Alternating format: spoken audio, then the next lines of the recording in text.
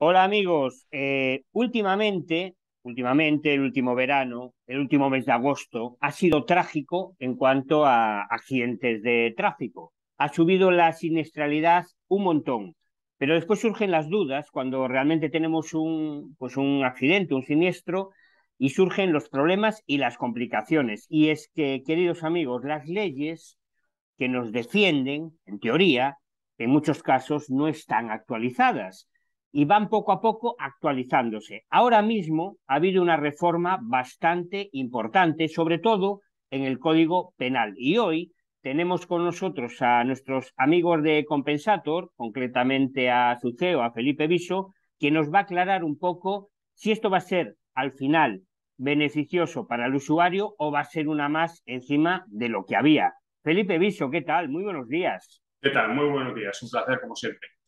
Bueno, cuéntame, eh, cambios legislativos importantes eh, en esa reforma del Código Penal, eh, derivado, como siempre, de las problemáticas y de las constantes denuncias que había de estos temas. Eh, al final, ¿cómo ha quedado? Bueno, esto es un... Vamos a hacer un poco de historia quizás, Antonio, para que la gente se sitúe.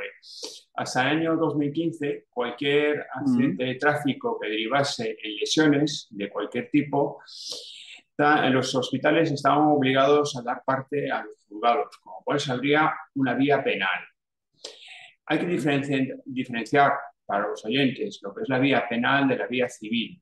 La vía penal, el juez puede castigar o condenar al culpable, pues desde una privación del carnet de conducir, una pena económica o incluso la cárcel.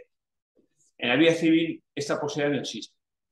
Lo que se va a dirimir en una vía civil es simplemente la cuantía o el motivo del pleito. Es decir, tú me deudas un dinero, no me lo quieres pagar, no me lo reconoces, no estás de acuerdo o lo que sea. Y entonces simplemente lo que hace el juez es juzgar esa cuestión, pero no hay un delito penal. Entonces la reforma viene a raíz de que, como te decía, hasta el año 2015 no había ningún todo, todo accidente que tuviese lesiones los juzgados tenían conocimiento. Inmediatamente, los forenses te requerían como víctima lesionada para observar tu evolución y, hacer un informe de valoración que a su vez se aprovechaba la víctima para poder más o menos tener una idea, una cuantificación estimada de lo que podría llegar a corresponder como los daños directos como víctima del siniestro y las lesiones que tenía nada más que las lesiones. Una reforma, modifican todo esto y a partir de esa ley de 2015 se quita esa obligación y solamente aquellos delitos que pudiesen ser o conducción temeraria, alcoholemia y tal, llegaban a los juzgados. Y aún así, eh, algunos de ellos, o bastantes de ellos, no se archivaban. ¿Por qué? Bueno, pues podía llegar a un tema de alcoholemia, pero las partes, es decir, la víctima se ponía de acuerdo con la aseguradora, no seguía con el planteamiento penal y el juez no tenía otra que archivar. Una vez analizado estos siete años de evolución, ¿qué se ha notado? Bueno, pues que desgraciadamente la incidencia con los ciclistas y los peatones ha aumentado, es decir, ha habido muchos más muertos y graves lesionados de ciclistas. Y en cambio, curiosamente, en los juzgados a nivel penal esto se ha reducido drásticamente. Se han archivado las causas. Pues porque si hay una actuación del juzgado, pero las víctimas se han puesto de acuerdo con la aseguradora de la cuantía que le corresponde, no se sigue Felipe, eh, me imagino que esto será, tendrá que ver un poco con la situación económica, ¿no? La gente al final no quiere extender los, digamos, los pleitos y prácticamente coge lo primero que le dan para que la gente nos entienda. Por eso ha trabajado. Eh, a ver, nosotros el gran problema que nos hemos encontrado a lo largo de estos 14 años que son los que llevo eh, reclamando exclusivamente a las aseguradoras es el grandísimo, muy grande desconocimiento que hay por parte de la sociedad. Incluso yo he conocido que trabajan con grandes despachos de abogados eh, y con los cuales yo también tengo una muy buena relación, incluso a veces nos vamos juntos por ahí a hacer rutas en bicicleta, eh, ellos no tienen conocimientos de lo que son del mundo asegurador, porque ellos podrán mm, llevar grandes pleitos derivados de temas mercantiles, laborales, etcétera. Pero el mundo asegurador tiene su complejidad y tiene que tener su personalidad. Entonces, ¿qué hemos encontrado? Que mucha gente tiene el abogado amigo de la familia, el conocido, o incluso grandes empresarios que cuando pasa algo de esto se van a ese despacho, ese despacho negocia con la aseguradora, y lo voy a decir con todo el cariño y respeto que esto se debe, sin grandes experiencias, que al final lo que te sirve no es el conocimiento, sino la experiencia, porque no voy a decir que los grandes despachos o, o todos los abogados no cojan e intenten conocer cuál es el derecho de la víctima, pero al final como todo, si las compañías de seguros tienen abogados que solo se dedican a defender a las aseguradoras, me parece increíble que a día de hoy no nos demos cuenta que ir con un abogado que me puede llevar un tema mercantil, me puede llevar un tema laboral o me puede llevar mi divorcio, me puede llevar divorcio, claro, claro. como bien decías tú, ¿qué quiere un abogado? Sobre todo cuando no tiene seguridad jurídica, llegar a un acuerdo con la compañía. Entonces, para la desgracia de las muchas víctimas, que además, aun por sus circunstancias personales son las que son, si acabas de perder un ser querido y lo que quieres es dar carpetazo y seguir para adelante, entre eso y que el abogado que cogen, que es el de confianza, intenta llegar a un acuerdo lo antes posible con la compañía. Y se juntan todos los factores para que las aseguradoras, como siempre, grandes, grandes beneficiadas de esta situación, no paguen todo lo que pueda corresponder. Entonces, un poco a raíz de esto que tú has presentado, porque ¿qué ha pasado ahora? ¿no? El 15 de septiembre de este año reforman el Código Penal y a través de una ley orgánica, ¿qué van a hacer? Bueno, pues que ahora cualquier delito que pueda ser susceptible de una imprudencia por parte del conductor y que tenga una tipificación que pueda ser punible, eso el juez de entrada, si la víctima tiene unas consecuencias de muerte o grandes lesiones, tendrá que motivar por qué lo puede llegar a archivar. Y si no, llegar a ese proceso final. Sí, sí, sí, sí. Es decir, ahora aunque la víctima, es decir, los herederos o la propia víctima, si quiera llegar a un acuerdo con la aseguradora, digamos que la justicia va a seguir su causa. Y eso es algo muy interesante. Porque no puede perdóname, es como si Fiscalía, por ejemplo, actuara de oficio en ese caso, si se detecta esto. Correcto, correcto. Es decir, vamos a poner un ejemplo que, por desgracia, pues está en la mente de muchos de nosotros. Unos ciclistas que hace poco fueron arrollados, hace pocos años, fueron arrollados por un conductor, bueno, pues de cierta edad y se lleva unos cuantos y además se da la fuga. Es decir, hay una serie de circunstancias que podrían ser mm. susceptibles. Esto, hoy en día, en un juzgado, tendrá que ser investigado y tendrá que ser juzgado y el juez tiene que motivar, es decir, tiene que argumentar por qué lo condena o por qué no lo condena, aunque la familia haya llegado a un acuerdo con la aseguradora. Y esto es muy, muy, muy importante. Es decir, ya no podemos coger e intentar con el dinero llegar a un acuerdo. Bien. Y creemos que... Y a lo mejor cárcel, ya no es cuestión económica sola, porque cuando nos metemos en procesos penales... Eh al final podemos dormir en, una, en un centro penitenciario.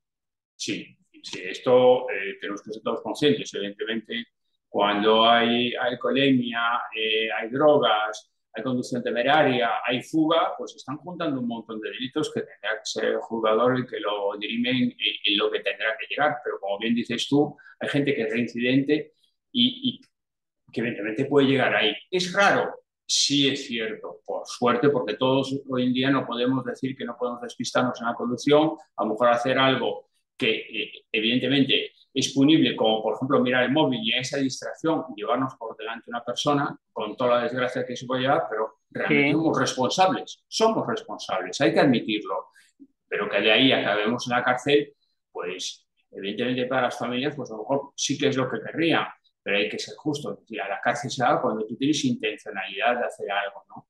Eh, creo que no hay que mezclar las cosas. Lo que sí es cierto es que el carnet de conducir, pues muy posiblemente se ha retirado muchas veces de las que está sucediendo a día de hoy y que, como bien dices tú, a ti te va a quedar eso en el juzgado. Es decir, tú has tenido un accidente de tráfico con resultados muy graves para las víctimas y con lo cual, derivado de eso, si el día de mañana es reincidente, cuidado, que como has comentado, esa persona pueda acabar durmiendo entre rejas.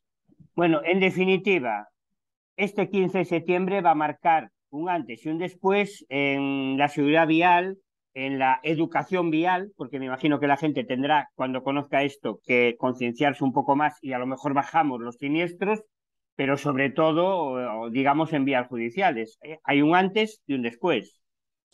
Lo has descrito como es, ¿no? O sea, no hay nada más que decir. Es decir, había un antes y ahora hay un presente. Y hay que ser muy conscientes que nuestros actos en la conducción pueden tener unas consecuencias. Y, y esto, que desde mi punto de vista, de nuestra experiencia, está muy bien, no significa que porque nosotros tengamos la posibilidad de tener un médico forense, es decir, un funcionario del Estado, del Ministerio de Justicia, que nos va a valorar, signifique que no tengamos que estar asistidos por profesionales que se dedican a esto, porque hay muchos, muchos derechos que tenemos cuando somos víctima que no están en manos de un forense. Por eso al final lo único que va a decir es, oye, pues esto tiene una serie de secuelas y una serie de consecuencias. Mm. Pero son exclusivamente y únicamente las que son corresponden a los daños de la persona. Pero ni siquiera esa propia valoración a veces tú puedes compartir con ella, porque por desgracia nos encontramos a veces con forenses que valoran de cierta forma y otros de otra forma, porque es un baremo que, como siempre, vuelve a ser, una vez más, interpretable. Y esto hoy en día nosotros lo encontramos todos los días en el juzgado. Bueno, aprovechando que el Pisuerga pasa por Valladolid, Felipe, Ahora que me nombras lo del baremo, al final esto se ha actualizado algo, no eh, se iba a volver a actualizar. Eh, estamos trabajando con los baremos de indemnizaciones del año noventa y tantos. ¿Cómo está esto? Bueno, eh, pues me ha sacado algo a colofón que es muy interesante, Antonio, que es el baremo de accidentes de tráfico. Este baremo, que sí, que es bastante actualizado, se actualizó en el año 2015, con el artículo 35 de ese mismo año.